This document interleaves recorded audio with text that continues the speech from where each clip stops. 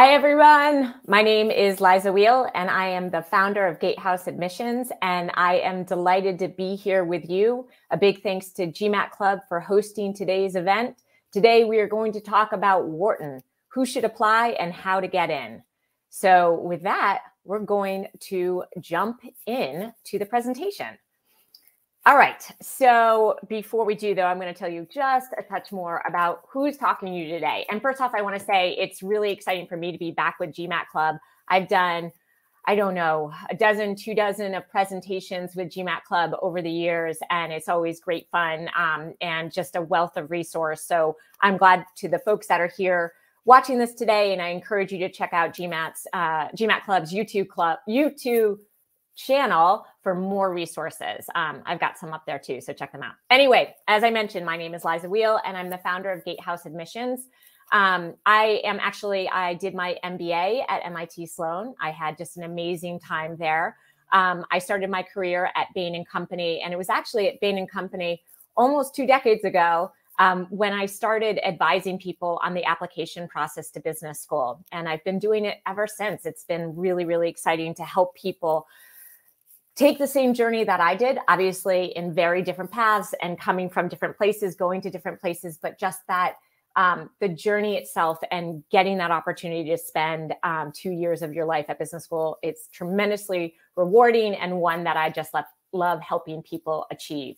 Um, I want to tell you just a touch about Gatehouse, just so you know um, a little bit more about my experience.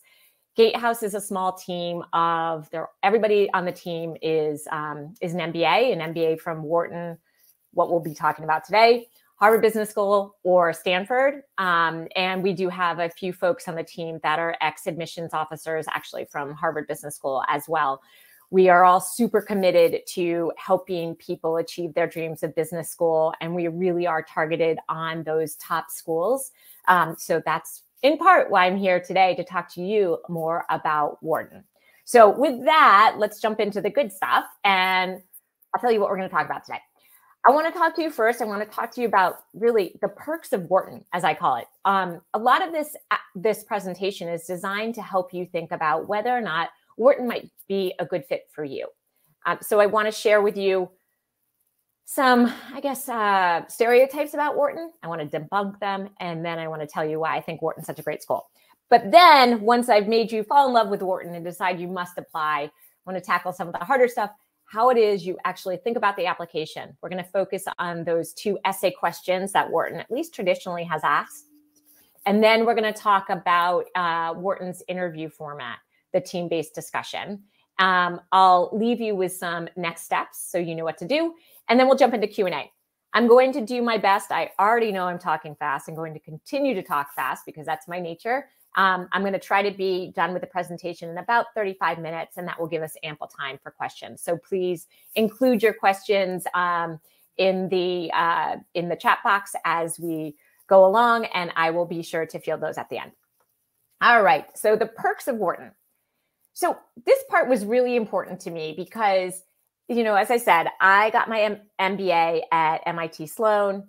Um, and you only do your MBA at one school. So, invariably, when you come into this process, um, certainly as an admissions coach, you can't help but think a lot about your experience. You don't necessarily know about the other schools as much at the very beginning, and maybe you make some judgment calls. And it bothers me now, but I made or I assumed the stereotypes that I had heard about Wharton were true. Um, and pretty soon, again, I've been doing this for almost two decades. So it didn't happen, uh, it happened long ago where I started to realize how much more Wharton really had to offer. That's one of the reasons I'm particularly excited to share this presentation with you because it, it it's kind of captures my own evolution of the strengths of the program.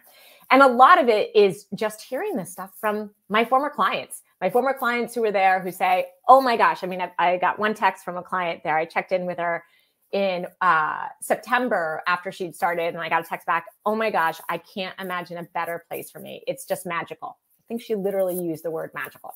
So, anyway, let's talk about the perks of Wharton. And I'd like to start with um, truth versus fiction. And I uh, imagine you have heard some of these things that Wharton is only for finance. I'm not interested in finance, so I shouldn't be going to Wharton Um, or if, you know, on the flip side, but we won't, we won't deal with this as much. I'm only interested in finance, so therefore I must go to Wharton. But really, there's this assumption that all Wharton knows is finance. We'll talk through that a little bit. I've also heard that it's really super competitive, that everybody, it's a little dog eat dog world. Um, it's every man for himself, every woman for herself. It's really cutthroat. Um, and people are very inward focused. That's another thing I heard a lot. And I think this may or may not fall in line a little bit with the only finance comment, but there's sort of also this assumption that it's it's stodgy. It's not that innovative. I don't know if any of you have heard these rumblings about Wharton, but if I do anything in this presentation, it's to make you realize that these are falsehoods that you should just put out of your out of your mind um, and do your research and really get to know the program for yourself. That is the journey that I went on when I started coaching people in the application process, and I was delighted with what I found. So, oops, okay. So let's talk about finance. Okay, so, yes, the truth is that Wharton is very strong in finance. It, it, it, really is a great spot for aspiring investment bankers or investors, whether it's buyout or PE or venture capital. It, um, I think it boasts it's like one of the oldest oldest finance programs in the world, um, at least for executive or, or master's level education. Um, so it is. It's it's its hallmark, the, the Wharton hallmark really is rooted in finance. That's all true. Um, but put that aside and think about what else Wharton offers. And this is where I think it's really kind of exciting. So Wharton has 18 different concentrations available and, and majors, ways that you can really specialize during your two years at Wharton. And they run the gamut, everything from business economics and public policy. So people that are interested in you know this really growing space of public-private partnerships when it comes to infrastructure development. Um, it, you know that's a big way. Uh, things like airports and um, roadways and things like that, where it's both the public and private investments. It's a great space, a great major for that. They also have business, energy, environment, and sustainability. I can't tell you how many clients and applicants these days are thinking about. Look, I, I, I want to build a career that impacts and helps and, and and supports the environment and the client or the the climate this major is absolutely perfect it's dealing with that head on and offering you a chance to study the ways that you can invest in and build um, a safer better environment for futures ahead of course they've got entrepreneurship and innovation they're one of the leading programs for marketing in the all of business schools um, and i don't think you normally think about Wharton when you hear the words marketing. But in fact, it's got a dynamite program. They're at the cutting edge of consumer research and data analytics. Um, so it's a super marketing program. Operations, informations, and decisions. So this is really that, you know, you've got the sort of the CEO who is both making the decisions and making sure as the head of the company that they're getting done. Um, and it's really both strategic and operations. They've got a major in real estate so I bring these all up, and there are eight, you know, there are 18. So there are others that I didn't mention here, and certainly finance is one of them. But they have a lot of very distinct and well-resourced uh, majors and areas of expertise. Um, they also have the two really uh, renowned specialty programs, like to say the healthcare man- management major, which is ideal for folks that are planning to go into some version of healthcare, whether it's investing or whether it's hospital management, whether it's working at a biotech. Um, and they, they also, for its Wharton MBA students, you have the chance to do a master's through the Lauder Institute in International Studies. Um, and this is a great opportunity for anybody who is looking to take their business skills um, and use them more globally or internationally. There's also a series of robust electives. And again, I think what was most pleasing to me when I really started looking at Wharton is just the the breadth and the depth that they have and they offer their students um, when it comes to areas of academics and where to specialize. So it is finance, I'll give you that, but it's everything else too, and some really superb programs um, in these areas. Okay, so it's not only finance. Let's talk about that some super competitive, uh, you know, stereotype that's out there. And what I would say here, so I could tell you again what my clients say, that they love it. They're having the time of their lives. They've met the friends of their life. You know, they, they're just having a ball there. But I also would say when you think about that, look at the clues. And what I mean by this is, you know, I, I think Wharton is pretty astute. They recognize that they are battling this inaccurate stereotype and they are actively seeking people who are not competitive or too focused on themselves and really focused on people beyond them. And the ways, the places that I can see that, first and foremost, are in the essay questions. One of the essay questions, and we'll talk about this in more detail, is ask you about how specifically you will contribute to the community, how you will help others. That does not sound very competitive, right?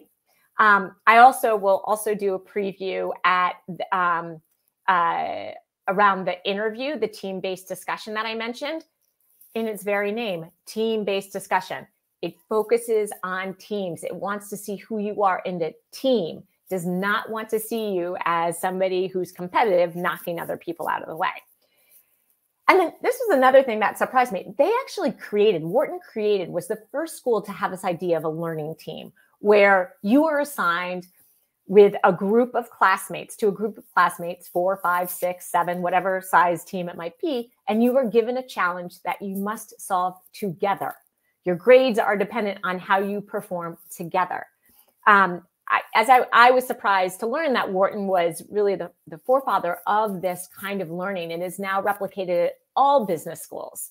Um, but it started at Wharton. So really, as opposed to you know this idea spirit of competitiveness being in its blood teamwork and collaboration is really in its blood i would argue.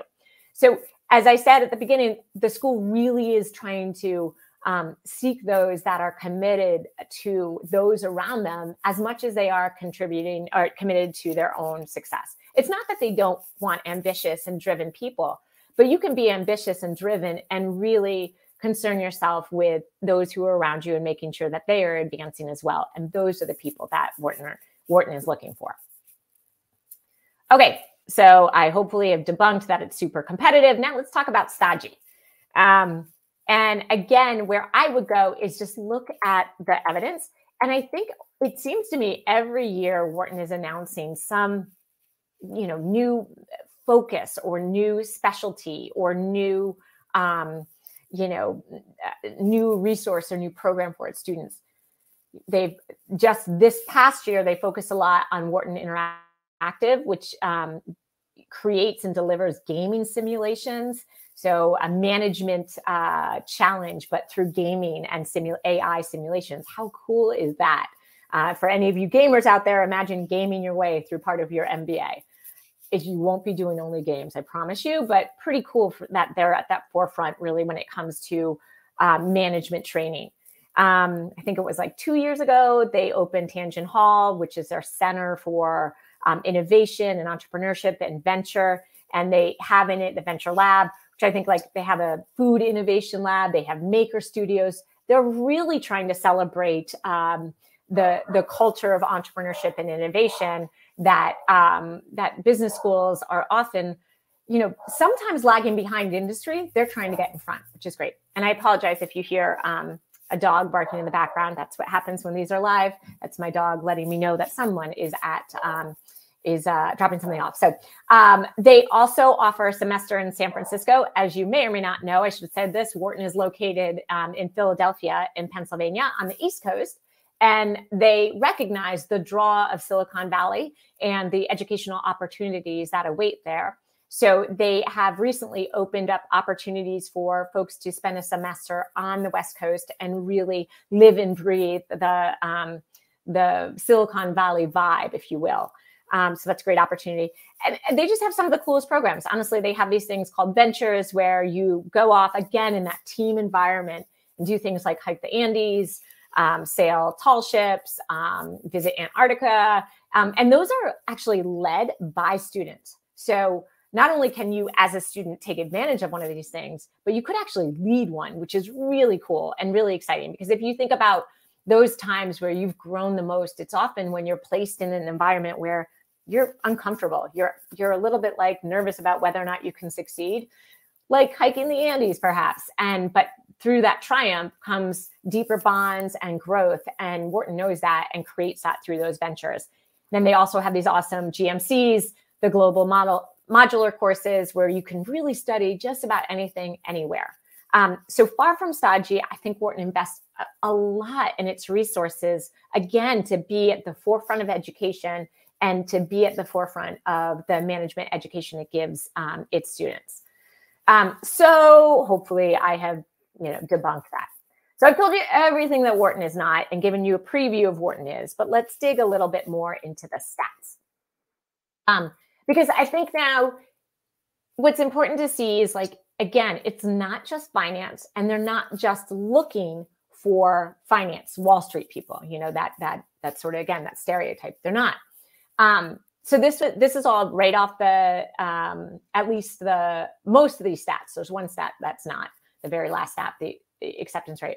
These are all right from Wharton's um, website uh, from their class of 2023. So as you can see, it's very international and diverse. Um, 30%, 36% of its students are international. 83 countries are represented. Wharton made a big splash, I think it was last year or the year before, where it was the first business school, again, like the first business school to hit 50% female in its student population, which is just fantastic. Now they're up to 52%, um, which is just super because, again, you don't typically think 50% female when you're thinking finance, Wall Street. You know, you, you just have another image in your head. And um, you can see in the numbers that that is very much being challenged. Um, in terms of the prior in- industry, so again, yeah, like financial services, um, private equity, VC, those are um, even investment banking is a little further down. Those are on the list as a prior industry, but so is consulting. I mean, that's a big, big one. Um, but so is government and nonprofit at 10%. 10% are coming in from technology, 5% in healthcare. You know, all I want you to take from this one is it doesn't matter if you're coming from consulting or retail. So it doesn't matter if you're coming from a, a space that's well represented or underrepresented. Doesn't matter. Doesn't there's no gaming to this. But what I will say is you will be welcome. They're they're eager to have a different set of experiences and a robust set of experiences in the classroom. Um, that said, it's really hard to get into. So the acceptance rate, um, this is from Poets and Quants based on uh, 20 applicants in 2020. Um, it's estimated to be have about a 23% acceptance rate. I think that fluctuates a little bit year to year, depending on what's going on. So it's hard to get into. Um, the average GMAT is a whopping 733. That's high. That is, I think, probably around a 96 or 97th percentile. Um, the average GMAT two is pretty, or excuse me, GRE is high at a not quite as high, but 162 on both the quant and verbal.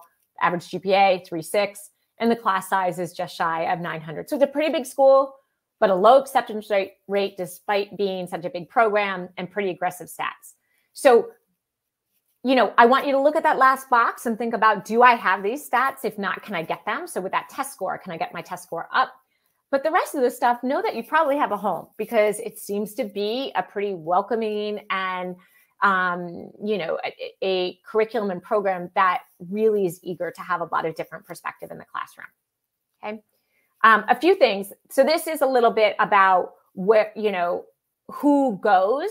Now I want to talk about where they go afterwards. And this is actually another thing. As you're considering schools, this is a huge piece. I find that this is often underrated and in some ways it can be underrated for the top business schools and you're going to be just fine um, but as you're considering business schools you should always think about where am i headed and what schools can help me get there because that answer is not always oh the top five or the top 10 it might be the number two the number eight and the number 15 are actually the best based on your goals and where you're coming from so i really encourage you as you're researching what schools to apply to to look up the placement reports from the different MBA programs to see where graduates are heading and see if how um, the school lines up with your goals. Again, it doesn't mean they have to have a ton of people going in the space you want to, but it's it is good to know and it can be reassuring and help you make sure you're choosing the right program. So in terms of Wharton, nine, I think this is again from uh, Wharton's website, class of 2021. 99% received job offers, not too shabby. What I really was interested in, uh, ha- happy to see, is 54% of the class um, was changing both industry and function. So you had some pretty bold career changers there, and 54%.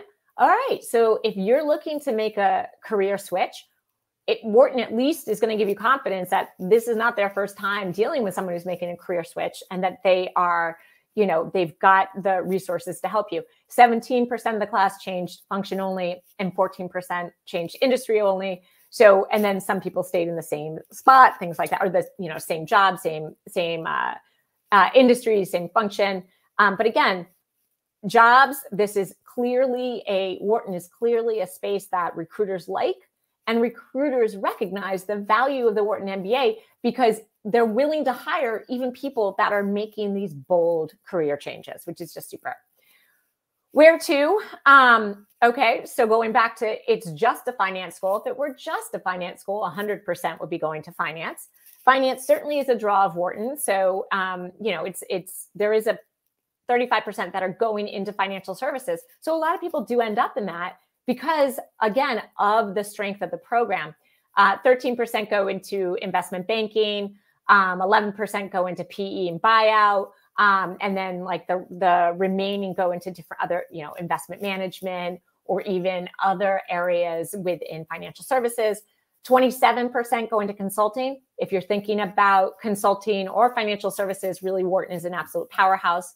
15% are going into technology, which is super. I mean, I think it's personally think it's great that the technology companies are more and more hiring MBAs into um, their ranks. So Amazon, Apple, you know, all the FANG companies, big tech, but then also startups um, and everywhere else. You know, I, I, like that they called out specifically future mobility. Um, I think there's like 2% going into the future mobility, which is pretty cool. So for those of you who are thinking about drone deliveries and stuff like that, um, Wharton's got some experience. Um, and the pay, nice and healthy. I mean, you know, my point is in showing this again, I don't want you to think of like, oh, I have to say I want to go into finance because look at how many people go into finance. Nope, that is actually not at all what I'm saying. I'm saying again, you can most likely find a path for you via Wharton's resources that makes sense given your career goals. I would encourage you to look at the placement report and find out okay, have they ever sent anybody to this space I'm interested in? Probably they have. And then I want you to start looking at the resources and to understand specifically how Wharton's resources could set you up for success. But know that it's a worthwhile uh, investment. And most of the time, 99% of the time, it's going to pay off. Okay. Um, so that's it about the uh, the path forward. So really, just to recap, um, and again, like I, I feel like Wharton is just such a like strong and wide program. So you can really find your space there, which is just super. So it's really well resourced across many domains, whether you want to be a brand manager, whether you want to lead an ed tech, educational technology company, whether you want to start a startup. Um, one of our colleagues actually started a venture while he was at Wharton and sold it two years afterwards. Um, and then build a career in venture capital and, and big tech. So, you know, it is, these things are really happening at these schools. The school sees itself as a bit of a lab for its students, and you can build the experience to get the learning that you need there. Um, it's very well respected by recruiters. Um, it is, you know, I mentioned the ventures and how much they really do want to see you adding value to the community. Um, and the other thing I didn't really mention, but because I think of the size and the focus on community, there are just a ton of student clubs. I was looking just to, as I was working on this presentation, like th- this is just like a tiny, tiny fraction. The boxing club, the coding club, in case you want to figure out how to start coding with, co- you know, there's so many tools out there where you don't need a coding background, but still need to do some coding. Um, you know, there's the investment management club, which is different than the PEVC club, which is different than the investment banking club. And then there's Out for Business Club for different affiliations, you know, all designed to support its students, whatever their their areas of interest and their goals are. So I hope that this has debunked a little bit of maybe what you assumed Wharton was, and that in looking at some of the truths, you could, you know, this is not to say Wharton's for everybody. You should figure out if it is the place for you. It's a bigger program, it's located in a city. Um, you know, you might want a smaller program that's rural, and that's okay. But what I would say is if you don't apply to Wharton, I want it more to be based on facts and not based on stereotypes of what you've heard about it. So that's where I want you looking at the truths that we discussed and the robustness of the program and looking at the things like, um, you know, just the, the, that bar to acceptance. I mean, that's a big thing to think about when you're determining which schools to apply to. Okay, so with that, if now you're like, oh, I definitely want to apply to Wharton, I definitely want to go.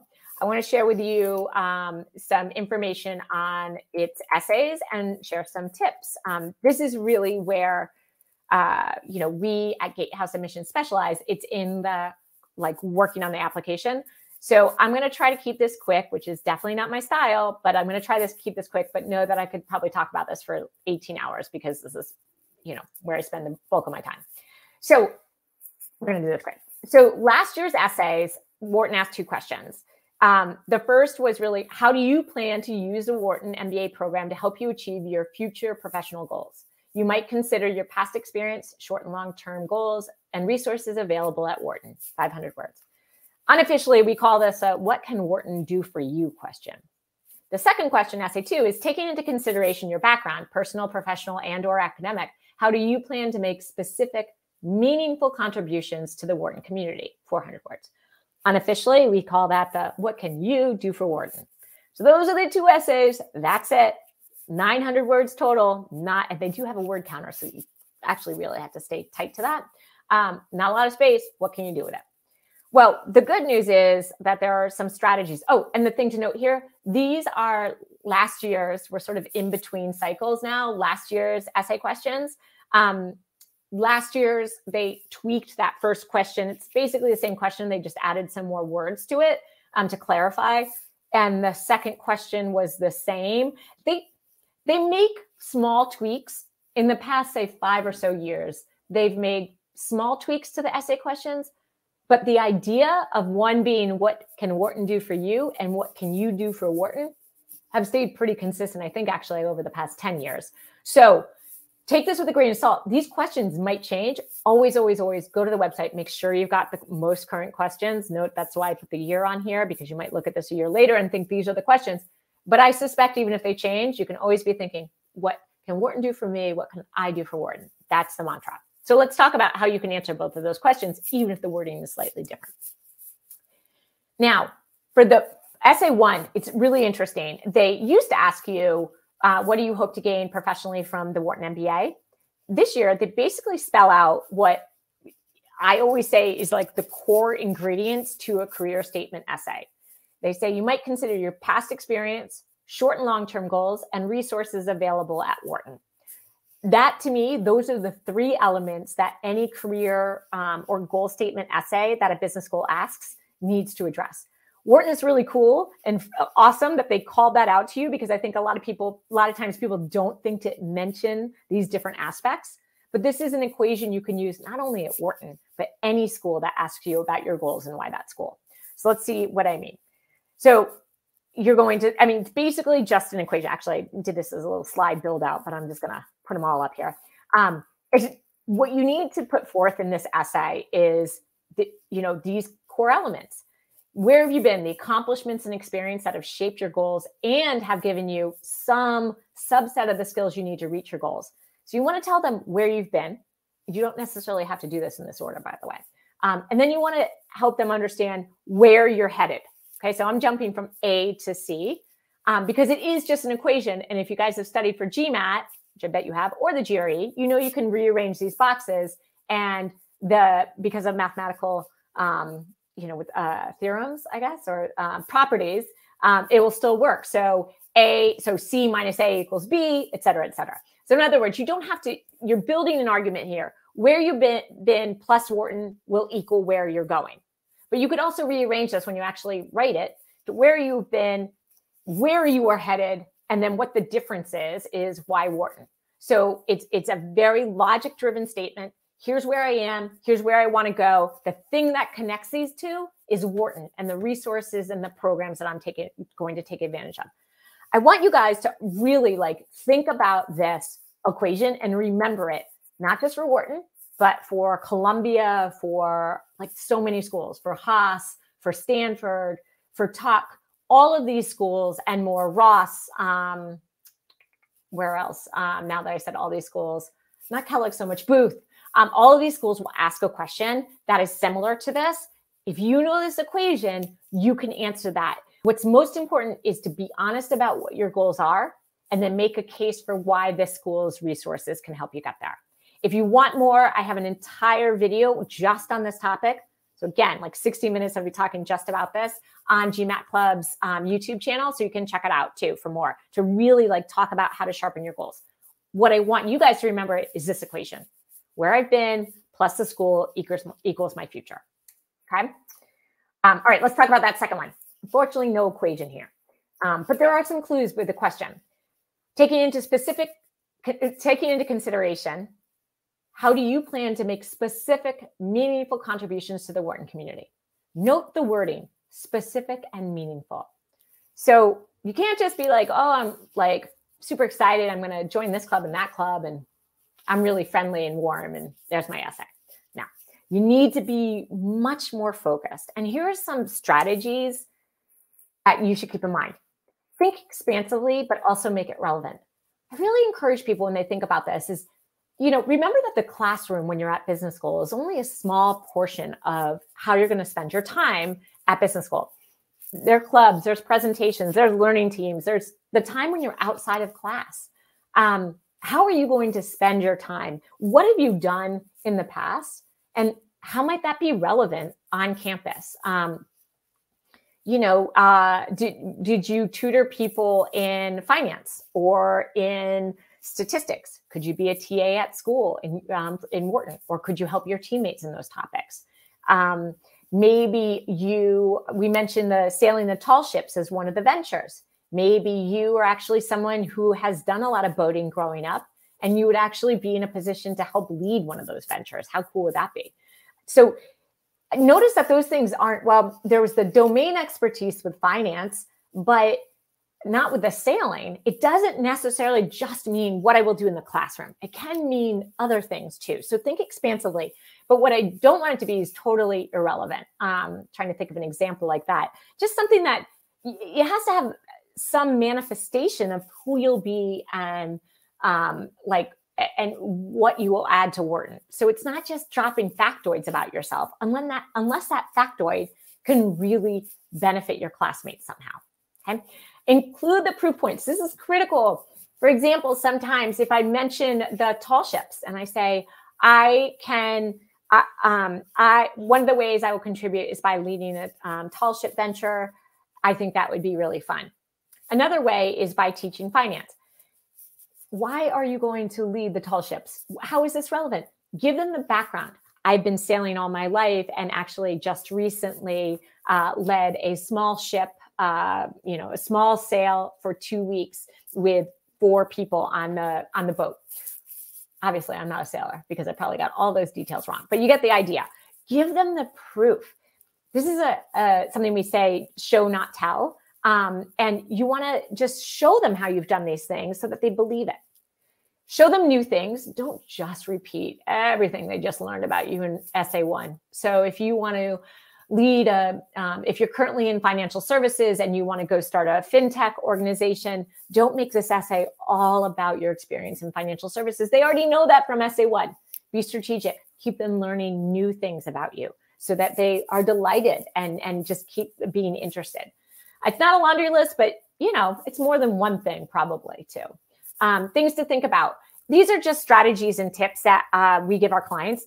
What will you get involved in on campus and why? Don't forget the why.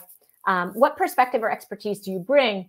And how could it be valuable? How would it inform and, you know, yeah, progress or help your classmates? Um, and then also think about areas that you want to benefit benefit from while also moving forward. Let's say you really want to explore more about fintech. So maybe you will go join whatever fintech club there is and really focus on fintech um, uh, solutions, international solutions. You can, that can be somewhat selfishly focused because it's an area that you want to focus on. But as long as you're helping, including others in that, that can absolutely be a way that you'll contribute. So when you're thinking about where, you know, what you can do for Wharton, think expansively, include those proof points, and really imagine yourself on campus. What will you do with your time and why? Okay. All right. So the, my biggest tip. All right, we're a little bit, we're going a little bit over. Um, biggest tip for Wharton's essays: research is imperative. Start your research now. I'll tell you a little bit more about that later. Make sure you develop your goals for you. Don't try to write based on those stats I shared earlier. Figure out what you want to do and make a case for yourself. Imagine yourself on campus. Go a step beyond participation and involvement. I'd like to join Club X. I'm really excited about going on this. Remember, they want leaders. What is your mark going to be? What is your legacy going to be? What are you going to advance? Maybe you want to create a new venture.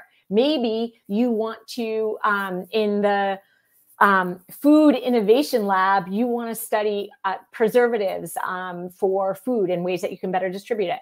Whatever. Think about, be specific, and really think about what you want your legacy to be there. Okay. And remember team collaboration and caring about others too. Okay. All right. We're almost out of time, and this is way out in advance because I do want to get to your questions, but I want to preview the Wharton interview because it's cool and it's different. So, Wharton uses a team based discussion. It's known as the TBD, not to be determined, but a team based discussion. It was launched actually 10 years ago, and it's really unique in the um, in the MBA application space. What it is is basically they invite. It's only by invite, and they they will put you in a group with four or five other applicants who have also been invited to interview.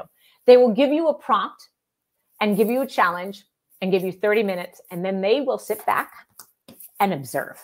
So it really is, you know, it's really cool. It's awesome. I've moderated hundreds of these through the years as an admissions coach, you know, before people actually go in for the real one. And it's super, super fun to watch people work together, all strangers, exactly what you'll be doing in business school, by the way, and advance an idea um, and get through this process. It's really, really cool. I want to give you um, just a, a, look at a past prompt. This was, mm, I don't know, five years ago, maybe four. The Ann and John McNulty Leadership Program at the Wharton School develops global leaders of diverse workforces. Through a distinctive co curricular blend of coursework, coaching, and experiential learning, students develop their personal leadership capacities, achieving tangible results with measurable global impact. Among, I've already talked about this a little bit, among the program's offerings are leadership ventures, experiences that invite participants to step out of their comfort zones, exceed their personal limitations and immerse themselves in leadership development opportunities. And then you got the prompt.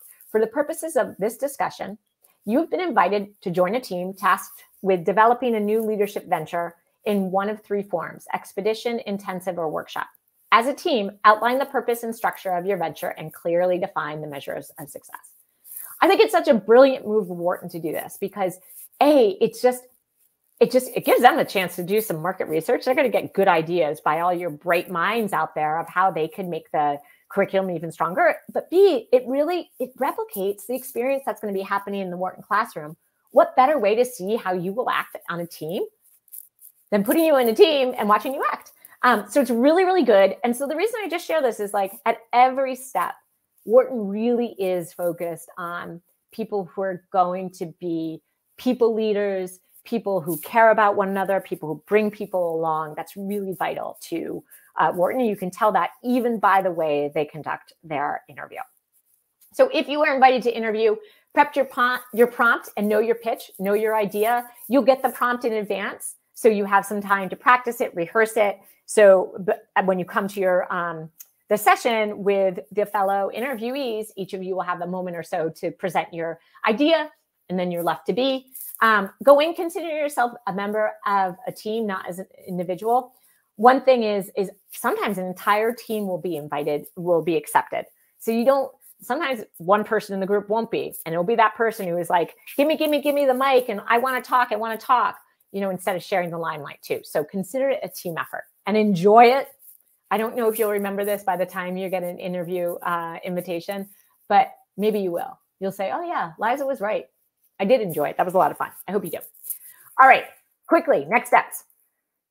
The big one now is um, research like yeah i spend time on the website but do more than that like sign up for the marketing events these are no brainers but also like look find alum find current students to reach out to if you're interested in the boxing club find a member of the boxing club and connect with that person um, you know it, the thing with technology is it makes all this stuff so much easier to do the research do it it will help you answer that question what will Wharton do for me and what I will do for Wharton? You can't answer either of those questions without a lot of research. Okay. That's the biggest, well, one of the biggest headlines from this presentation.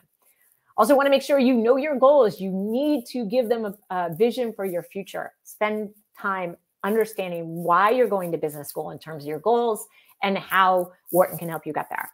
And really, quite frankly, so for those of you who are watching this, um, um, watching this live, kudos to you and thank you, by the way. Um, uh, we're towards the end of March. I had to figure that one out, uh, 2022. But uh, so just so you know, you might be watching this a little later. That's cool too.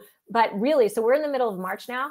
People are getting started on their, you know, application and the reflection that's necessary for their applications now, even though round one applications aren't due until um, September. See, at this time of year, I'm like, what time of year it is? But so really like start thinking about this. Wharton will announce its questions May, June. Um, but you can do a lot of reflection now and also work on getting your resume done, do your goal development, do your research. Don't wait till May, June, because at that point you want to be focused on essays. Um, and then, you know, obviously we I I hope you can see my enthusiasm for talking about this stuff. I love it. Um, so reach out to, to us at Gatehouse Admissions to see if and how we can help. You can sign up for a free consultation um, and we can help you think through your options as well. So those are your next steps, really. The big one everybody seems to forget, well, kind of like the first two. Research, people are like, why do I have to research? I, I just quickly looked on the web. Don't do that. Take it a step further. And number two, make sure you're investing in your goals too. Okay, really give that some thought before you just decide I have to go to business school. Really think about why and how it lines up for your goals. All right, guys, I'm going to open it up for Q and A. Um, just to repeat on who um, we are for at the um, you know before Gatehouse admissions, we we love what we do and we focus really on the tippity top schools, which is one of the reasons why I'm here with you today to talk to you about Wharton. We offer all sorts of um, services um, from one-on-one coaching where we go really every single step of the way to more targeted support such as mock interviews resume overhauls um, waitlist support advanced planning. We'll also say i mentioned this at the beginning a little bit um, gmat club visit you can find the videos on their youtube channel or right on our website. They link to the same videos um, where um, last year about this time, I broke down the entire application process, not just more holistically than Wharton, but the entire business school application process into nine workshops. Um, so I encourage you, if you want to do a deep dive on that career statement I mentioned, or think more about recommenders or your resume, check that out. You can, again, you can get that on GMAT Club's YouTube channel um, or at gatehouse.com under our free resources too. So I think I'm going to take a deep breath um, and uh, see. We are ready for some questions. Um, so if anybody has any questions, I will take them now. Here's one.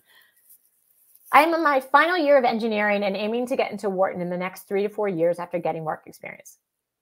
What else should I do in this time as I have average academic score and will give GMAT? Okay, Great question. First off, I love that you're asking this question now when you're still a few years out. I think um, there's no there's no one answer, but you know definitely they will want a high GMAT. If you have time on your side, get a high test score. There is no reason not to. Um, like I'm, obviously I make that sound easier. I know it's a ton of work, but there are so many resources out there like GMAT Club that will help you get that score you need. Um, get the GMAT or the GRE out of the way um, earlier on, well before you're starting your application. Honestly, get it out like get it out of the way nowish. Um, because it just gives you more time to worry about everything else rather than worrying that maybe that the GMAT's going to hold you back. That's number one. And then number two, I would say another area where I see people are just kind of short is on everything else. Um, you know, again, I, I, it goes back to a little bit about what I said of like, yes, the MBA program is in the classroom, but it's so much more, and you need to be so much more than your job too. So invest in the things that you love doing and think about ways that you can extend your involvement in them to be meaningful to other people. Keep going back to the boxing um, because I saw it was a club and I thought that was interesting. Maybe you love boxing. Um, maybe this next stage you learn some sort of like martial arts and teach self defense to kids. Um, you know, maybe you, um, you know, I don't know, build teams to that compete for charity. Um, if you are, if you were a mentor or you um, were a TA, maybe you start doing more formal tutoring of children. Think about what you love and you're passionate about, how to extend it in ways that you can continue to challenge yourself. This might sound obvious, but also the two other things is like do a really good job at work because you are going to need recommendations and make sure that you maintain relationships with your managers. It's a way off. I don't have any idea who you're going to ask, but you want to make sure that you've got some options. And so, you know, bosses can be tough. Look, it's tough to work for somebody else, um, but kind of see through that. Make sure you kind of keep those relationships warm because you might need to lean on that person later. So I think that's it. Um, okay. Jenny, I got LLM admission. I don't know what LLM means, as a matter of fact, from Northwestern and Cornell, and are going to prepare for getting an MBA recently. So I'm wondering if my I actually have no idea what LLM is. That tells you how much my little world of MBA is. So, Jenny, if you could, if we could clarify what LLM is, law? I don't know. I'm going to be like, oh, that, of course, I should have known, but I don't know what LLM is.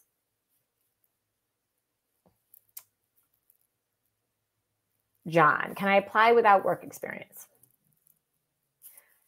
So, a number of the schools do have um, programs designed for people to apply to when they're still in college. These are sometimes referred to as deferral, early, I think, early applicant. Um, or um, you know two plus two that's harvard's program rising scholar it's kind of these clever ways some of the schools include harvard I, I, like a lot of them offer it now i think you know the schools recognize that you know they, as as as much as we don't think about it the business schools are businesses too they are eager for bright awesome students and they want to pluck off the bright awesome students um, so they don't lose them to another school so i think what the schools realized it was, used to be just Harvard and Stanford that offered these um, programs for people to apply to um, directly from school while they were still in college. Now, like I think a lot of like Wharton offers it, MIT Sloan, Yale, Booth. Um, I think Kellogg does too. Like a lot of programs do. Um, but it's not for immediate matriculation. So you basically apply now in your senior year, your last year of university um, but you don't actually go to school for another like two, three, or four years. It depends on the school. They all have different, um, you know, specifics. I think the only program, the the the only way to go without experience, I think there are two options. One, I think Yale's, I think it's called Silver Scholars Program. It basically go you you would you're in your final final year of university. You do one year in the MBA program, then go work for a year, and then go back. I think that's how it works. So that one's a little bit, you get a, um, you know, you, you get a little bit of work experience in the program. The other option is there are some, you know, management degrees for people that go right um, out of college, but they're not the equivalent of an MBA. I know Duke has one, Ross has one. Um, so this is almost like a one-year master's program that you'd stick on top of your university degree. It's still a great degree, but it's not the equivalent of an MBA. In general, the Masters of Business Administration, it is designed for people that have professional experience. Some of the reason is that so much of the learning comes from your peers and not, you know, not the not the lecture, not the problem sets. It comes from the learning that your peers around you have had. So they really do want you to have experience so you have something to add. Any tips for Camilla? Any tips for international an international application? Camilla, everything really still stands. Um, you, you know, I think my biggest advice for an international applicant is be who you are. Um, you don't need to be American to get into a, a US based business school. You don't need to sound like an American. You don't have to look, feel like an American, whatever that is, you know, to, to get into one of these programs. Um, so don't try to be. So beyond that, everything else st- stays the same. The schools are interested in people who have um, leadership, demonstrated leadership potential, who have made an impact in their worlds for the people around them as well as for themselves, who have, who have strong smarts um, and analytics, um, who live bold, creative, interesting lives. Um, but that doesn't really matter where you are. I, I don't know that's such a kind of a broad thing, but I think the big thing is look, like, you know, as you saw the stats, like, what was it, 23 per, 33%, 20, 33% of Wharton's classes international, maybe 23%, I might be forgetting. They're eager to have folks from across the world in their program. So embrace that. You know, and and sometimes people are really nervous about um, if English isn't their first language. That's okay too. Like definitely, like your your essays shouldn't be the same as someone who grew up speaking English. It just makes sense. So you don't don't worry about it and and almost don't try to make it sound like it is be yourself. Um, obviously, you don't want blatant errors, but uh, you kind of what what what a, sort of someone who grew up speaking English might say, "Oh, that's a weird wording," um, but but that it, it's not. It, it, it's you, and it, it totally works. So um, I think that's the biggest thing. Um, for recommenders, check the schools. Um, sometimes that can be hard if your recommenders don't speak English and therefore don't write in English, but a lot of them allow translation. So just check that out too. Um, you obviously have to um, write everything in English, and you do have to take your TOEFL. The one thing I didn't realize, um, you know, again, this was earlier in my career. Um, I was working with a client who was working for years in the UK, but he had been educated in France um, and was French. Um, you know, born born and spent his um, his up through like 20s in France, but then he'd been working in the UK for like four or five years, and he was still required to take the TOEFL. So that's the other thing. Just uh, that that kind of burned both of us. It was bad. It was that time. He had to rush to take it. Um, so make sure you take the TOEFL if you need to. Just check the school's requirements. They're really good. If you've got any questions, you can, you can always reach out to the schools too. I hope that helps, Camilla. Does the average increase for those pursuing deferred programs since we have no work experience? Not really. So I think what you mean is like, are the test scores or the stats even higher? Not really, but sort of. Um, I think what happens is it, it, they're probably roughly the same. I know HBS re- once released that their GMAT was the same. The average GMAT of the those that were accepted in the two plus two program was the same as the rest of the class. But I would say the two plus two or deferral program, um, it is just by its nature incredibly uh, like ambitious. So what you do have is an absolute pool of superstars. So it doesn't, it, it just means like when you're applying for the normal program, the reason why it's all superstars is you got to be that much more ahead on your game and know what you want and like just have everything, all, all your ducks in a row and have all your plans figured out to know that you should apply for these things.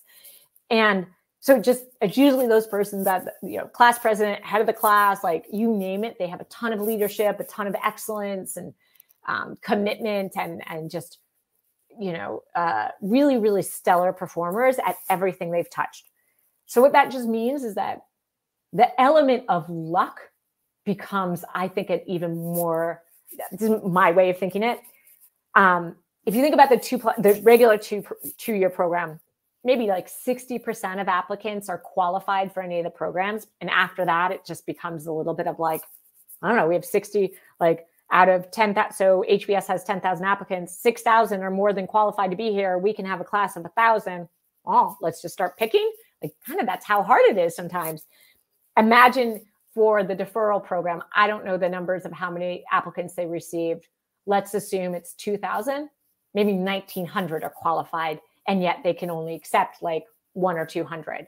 So it just, like that's bad math there. I what I would say is like the acceptance rate is is the same, the averages are the same, but the pool itself, it's just that that element of luck because you're playing at such a high league and there are so few spots, chance is even more um, prevalent at that stage.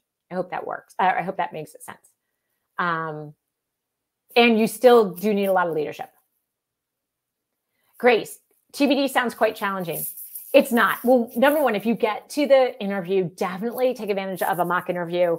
Work with Gatehouse, like you work with uh, lots of people offer them. As I said, I've moderated I don't know, like a hundred over the years. Um, tells you again how long I've been doing this for. Um, but you know, they're they're super fun. But I do um, really suggest a mock interview for Wharton specifically because I feel like there's all this anxiety going in. And then they, what I always hear is clients go in, they're like, I, I don't know, like I, I, don't know how I should act. And then they come out and they're like, oh, oh, I get it okay, I just had to be myself. And and maybe I'll tweak this a little bit when I go in for the real one. But Grace, it's actually not quite, it's not challenging. You should you do need to prepare your pitch. Um, but they're really evaluating you. Are you a good team player? That's what the crux of it is. Uh, and I suspect you are. But I would say to take to if you get to that point and you're invited to interview, do a mock interview for Wharton specifically, just to like get over that fear because once you've done it, then you'll be that much better for the real one. Is our Grace, is R1 applying, is round one better, applying, um, it's applying in round one better than applying in round two? It depends. So all else being equal, if your application is as strong and your essays and your test score and your recommendations, if your application is as strong in round one versus round two, then I would say, yes, you should apply in round one only because we never will have inside information for any one person which round was actually better. Um, we'll just never know that. It's impossible. The schools don't know that until they get the applications. And then only then will they know, okay, like how many applications do we have? How many consultants do we have? How many of this? You know, it's impossible to know. So, all else being equal, I would always say round one because it's a clean slate. However, if your application is going to be stronger in round two, go for round two. There, there are people who get in round two, lots of people, hundreds of people who get in in round two. Actually, tomorrow, I think, to uh, Wednesday, tomorrow, I think Kellogg and Wharton announce round two decisions. Thursday, Booth. I think Thursday actually will start informally telling people tomorrow, I think. And then next week, Harvard and Stanford. And then the following week, Sloan, Sloan, my alma mater, always likes to be a little late and different. They're cool like that. Um, you know, we definitely have clients who applied in round two. We have clients who will be successful in round two. It, it um, so if you have something that you need to, you know, test score isn't high enough, you scrambled too much on your application for round one, um, you're getting sometimes like a promotion is worth waiting for. It depends what it is. Um, go for round two. But all else being equal, round one is better. Or, or not better, but you can never know. So your odds are there, like without knowing, given it's a blank slate, I would just always kind of feel better about getting in round one if it's as strong as it would be in round two in terms of your app. Michael, I am applying for schools for the September 2022 application cycle. Do some elite schools accept an application submission with a GMAT school score following in April. Reason is test centers cut since COVID 19 in Zambia. Um, so, Michael, so, so I'm not 100% sure. I don't know test centers cut in Zambia. I don't know if they're open now or not, or if they're not open until next year. So, you you only need the GMAT for the like for um, most schools, you just need the GMAT to take the GMAT before the deadline. So the deadline is September. You know, for most schools, as long as you've taken that GMAT for like a week, some schools it's even the day before, you're fine. Um, some schools will even let you in a week or two after the deadline. You should always, always, always clarify that with every school because it's a, an exception, not the rule. Um, they might accept at GMAT like two weeks after. Um, some schools are also they're they're not requiring the GMAT anymore. Uh, Raw, um, Ross, Darden, I think MIT Sloan, Ross and Darden, their rationale is somewhat open, I think, or at least I know Ross's is. I know Sloan, it it is like at this point, at least last year, I think it was more they would accept if it if you couldn't take it because of COVID. So you might be able to get a test waiver. I don't know if, say, you applied in September 2022, uh, unless you mean, uh, yeah, I'm not 100% sure if you mean you applied and you're going to be starting in round one, but um, or in in the fall. But I don't think they would accept you apply in September and then you're not submitting a GMAT for several months afterwards. But my biggest advice is check with the school. Check the school. Look, they they understand the situation and they also understand that even with the at-home option, it's not always feasible for people. You know, that the internet might not be stable or you know it's it's um, difficult to get quiet time in the house. They totally get that. So just reach out to the schools and ask what their specific guidance is. Um, they have gotten certainly more flexible um, in the past two and a half years that or two years than they were before but you should check with each of them. All right you guys. Awesome. I appreciate all the questions. I give stars for gold question or give out gold stars for questions. So each of you guys who ask questions really really appreciate it definitely reach out to me at gatehouse.com. Um, you can uh, submit a form for a free consultation and check out Wharton. It's an awesome school. And if you say no to it, by all that's fine. Just make sure you're saying no to the right reasons. But maybe this gave you a new way to look at it. So thanks again, everybody. Um, and I'll see you at the next one of these whenever it might be. Thanks.